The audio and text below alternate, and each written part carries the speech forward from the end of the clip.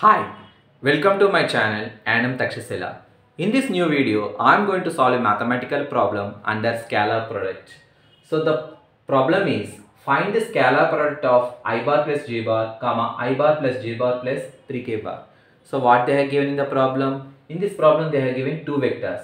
So we have to take first vector as a bar and second vector as b bar, and you need to do scalar product between these two vectors. So we'll do this. So let a bar equal to i bar plus j bar and second vector is b bar that is i bar plus j bar plus 3k bar. So we have to do scalar product that is a bar dot b bar equal to i bar plus j bar dot i bar plus j bar plus 3k bar.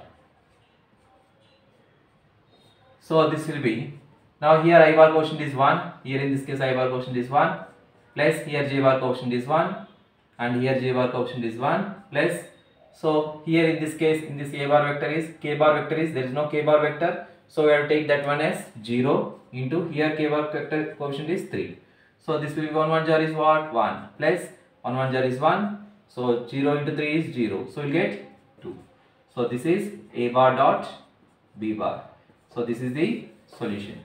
So scalar product between above two vectors is that value is 2 now if you want to solve more problems of this kind i have given you a link in the description. Please click on that link. And this video is mostly useful to the polytechnic and engineering students. If you like my video please subscribe my channel Yanam Takshashila for further updates. Thank you for watching my video